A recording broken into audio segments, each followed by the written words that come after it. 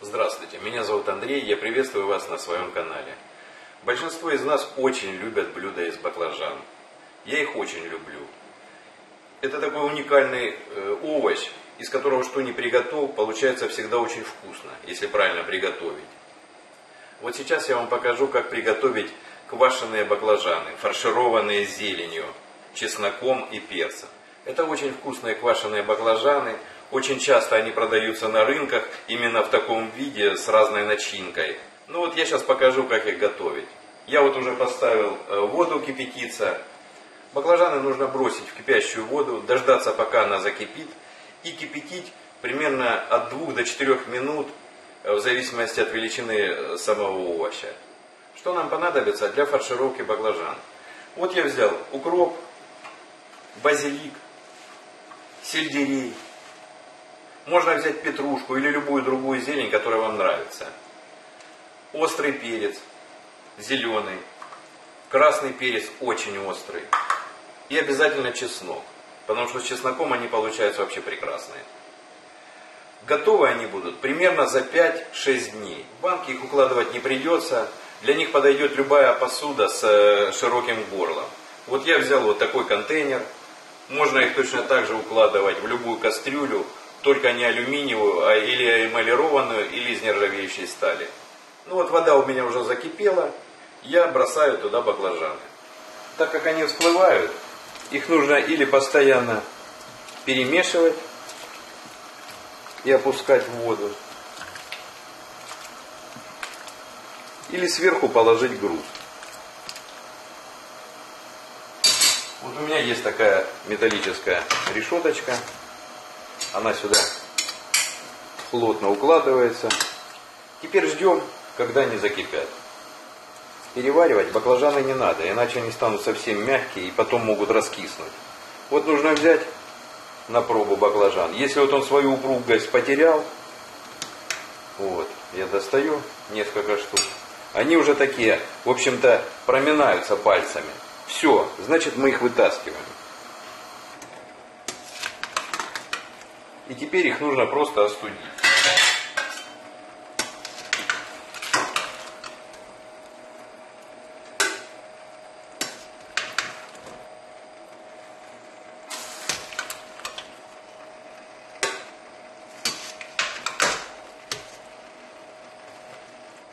Пока баклажаны остывают, делаем начинку.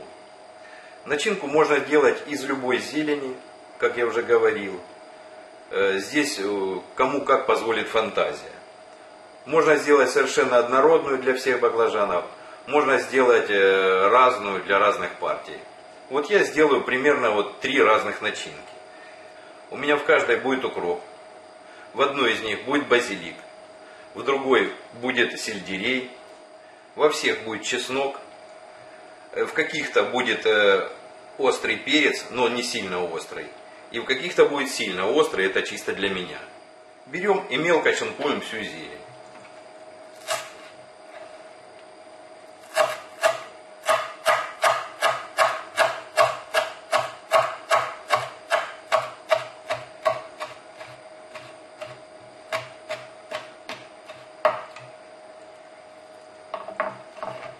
И теперь в каждую чашку выдавливаем по несколько зубчиков чеснока.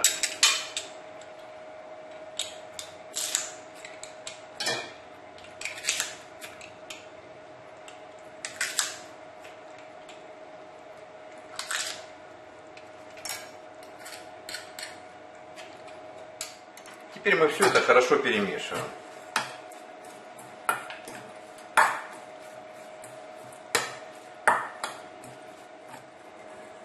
Теперь этой смесью будем фаршировать баклажаны. Ну что, баклажаны остыли. Теперь все просто. Берем баклажан, делаем продольный разрез не до конца, раскрываем его и сюда забиваем нашу смесь.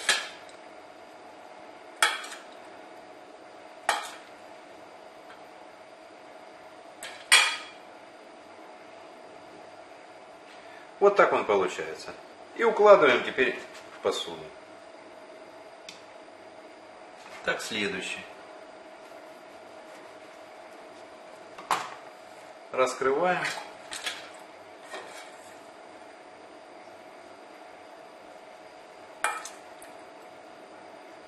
фаршируем и укладываем. Баклажаны еще нужно правильно выбирать.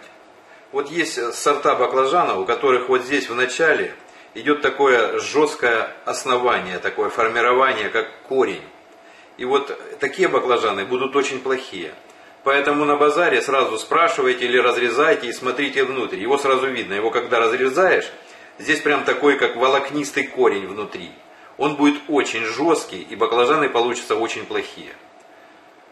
Все кто продают баклажаны, они об этом знают. Они сразу говорят, у них это называется костец. Они говорят, вот костеца у нас нет в баклажанах. Поэтому спрашивайте, если не спросите, могут подсунуть э, какие-нибудь такие плохие. И просто испортят вам продукт.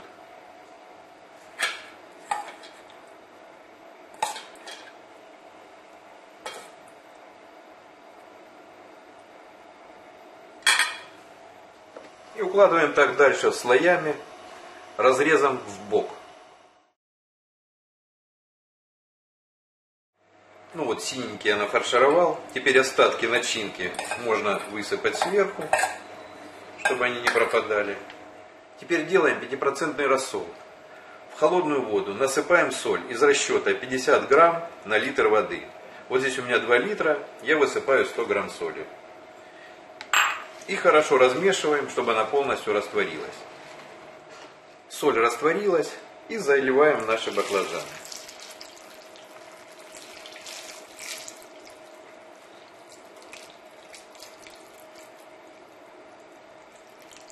Надо заливать так, чтобы рассол полностью покрыл баклажаны. Теперь берем, накрываем это дощечкой. Сюда можно поставить небольшой груз – и в таком состоянии, в прохладном месте, их нужно подержать примерно 5-6 дней.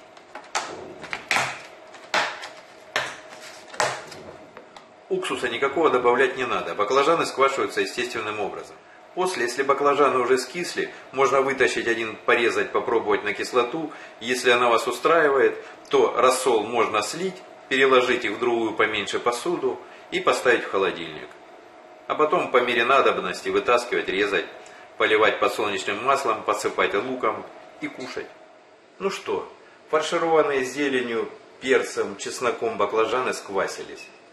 В рассоле они пролежали 6 дней. Теперь мы берем, достаем один баклажан. Вот такой он получается. Вот там все это уже сквасилось, зелень, чесночок.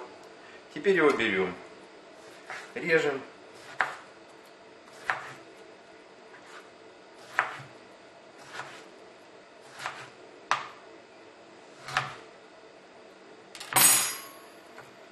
посуду. Теперь нужно сюда порезать лук.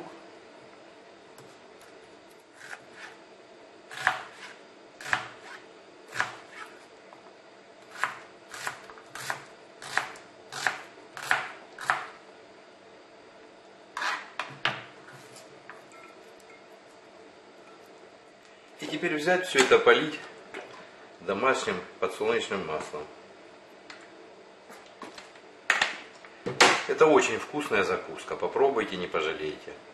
Чтобы синенькие быстро не перекисали, храните их желательно в прохладном месте или в холодильнике.